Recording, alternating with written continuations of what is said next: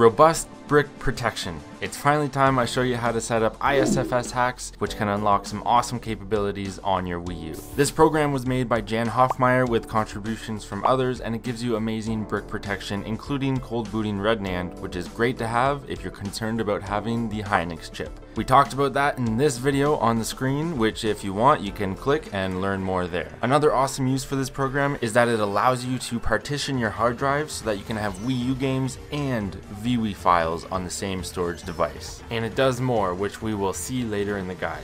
So let's set it up. Head over to the link in the description for the written guide and it should take you here. And I'll just emphasize the warning. Although this is in use by many users, proving itself is safe and reliable, you'll still use this at your own risk. But in summary, this program is similar to BootMii and Preloader that we have over on Wii Homebrew. So essentially it won't prevent your Wii U from getting bricked, but it will give you the ability to actually fix it. So this page here is the actual written guide and I would suggest you follow along on here that way you get all the information you need about the software. Here's a full list of everything it's capable of, including the plugins, which there is a handful that you can use after you set this up. But down here in choosing the exploit, there are different options, and I'm going to be showing you how to install it on the Aroma custom firmware, which is the latest homebrew environment for the Wii U. If you have not modded your Wii U, you're in luck because I'm also going to show you guys how to set it up on a stock Wii U as well. But you'll need an SD card formatted as FAT32. The SD setup is the same, it's the exploit that is mainly different different. First step we need to do under preparing the SD card, in the third paragraph, a zip archive is right here.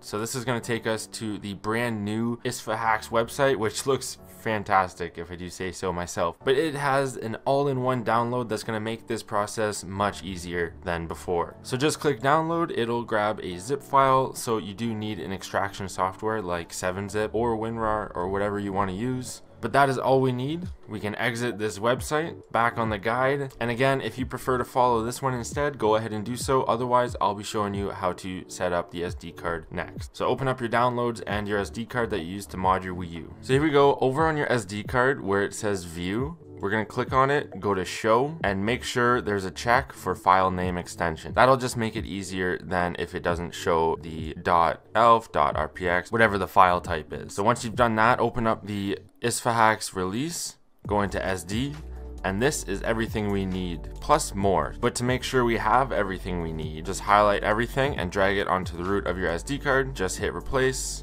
You can go back and delete the zip file no longer need it don't need our downloads anymore. Now as you can see it did add a fair amount but there's a few files that we don't actually need. So if I bring up the guide again you can see that some of the files are for a certain exploit only. So we can get rid of certain files. So let's go ahead and do that. So we'll start off with the boot one now. We can go ahead and delete that. We can delete the launch.rpx we can delete the recovery menu.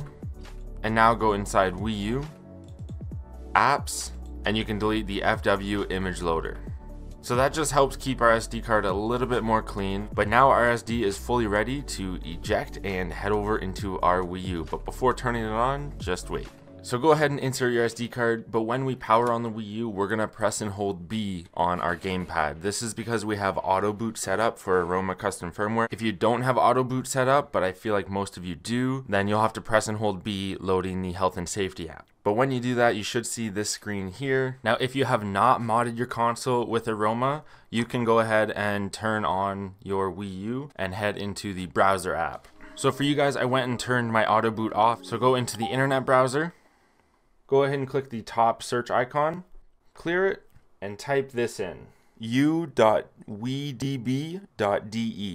So once it looks like that, just hit OK, and you should see this page here. And we're going to click on hacks, but once you do, you need to press and hold B. So try to be quick, click on hacks, and press and hold B. And you should see this screen. So now whether you have a modded Wii U or a stock Wii U, we should all be at this screen here. Just use the D-pad on the gamepad to go down to FW Image Loader and press A. And this should load us into the minute menu. And it should look just like this. And I'm going to zoom in just to give you a better view. So in this menu, your gamepad and your controller do not work, so you have to use the power button and eject button, similar to BootMii on the Wii. So before we actually install ISFSHax, we're gonna back up some important files. So click the power button and go all the way down, back up and restore, press the eject button. So on the first one, dump SEEPROM and OTP, click the eject button and it'll back that one up really quick. Just press power to return to that menu. And now we're gonna go down to dump SLC raw. So that is the fourth one down here. Press eject. And this one takes a little bit longer, but we'll just let that finish. Alright, that did take way longer than the first one, but it's done. Now all we do is press power to exit. And now back on this page, we're going to go all the way down to the very bottom and press eject on return to main menu. And now it's time to actually install ISFSHax. So to do that, we're gonna go down to boot iOS IMG. If for some reason you can't see this menu, you hit the power button six times and then eject. And this should take us to the ISFSHax installer. So on this one, the buttons are exact same as the previous menu. You might notice that your LED on your Wii U has turned purple. That's completely normal, don't worry. But go ahead and click eject to continue. ISFSHax can be installed, click eject again, and click eject on install ISFSHax. Press the power button to go up to yes, proceed, and eject, and it should install just like that. Hit eject on continue, and we'll power off our Wii U by hitting eject. And now that it's off, just go ahead and hit the power button and we'll turn it back on. Your LED should be purple, and it should launch us into the minute menu, just like so.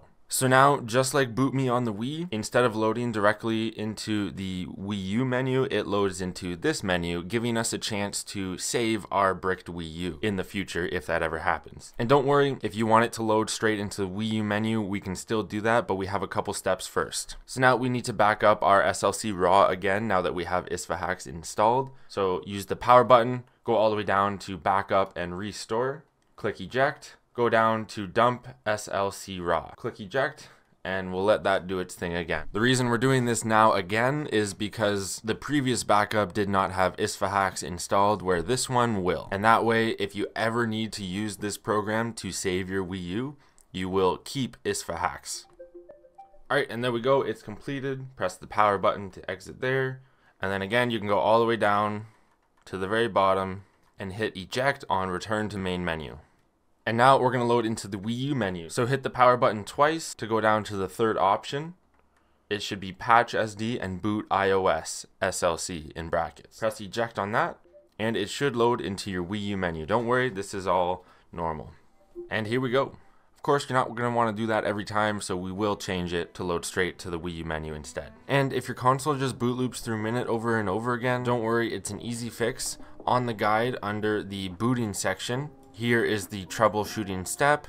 Just click on the Aroma one. Go ahead and download the payload loader payload zip file, extract it and drag it onto your SD card, and that should solve it. But now ISFSHax is all set up and installed, so power off your Wii U and let's head back onto the computer.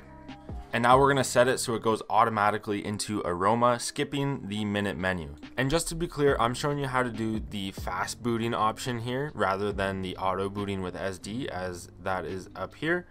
I find the fast booting option easier and more straightforward than the auto booting with SD option. But if you'd like to read over the differences before setting it up, feel free to do so over at the guide here. And you'll see how easy it is to boot into the minute menu after setting this up as well but let's set it up. And to do this, we're basically going to be using a different fw.img file. But we don't want to get rid of this one because in case our Wii U bricks, we can put this one back on. So I'm going to create a folder on my root of my SD card, use in case of brick, and just drag the fw.img in that folder.